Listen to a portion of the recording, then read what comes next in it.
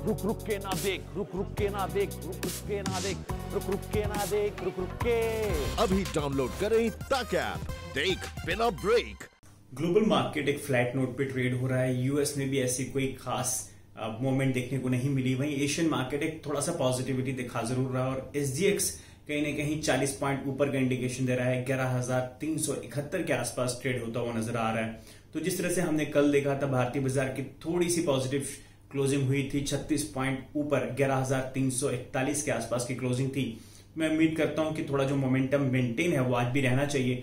तो एक minor dip towards 11,340 वहाँ पे मैं एक बाई की सलाह दूँगा जिसका स्टॉप लॉस काफ़ी नैरो है। 11,300 का स्टॉप लॉस बनेगा एंड अपसाइड टारगेट 11,400 से 11,430 के आसपास का दिख रहा है।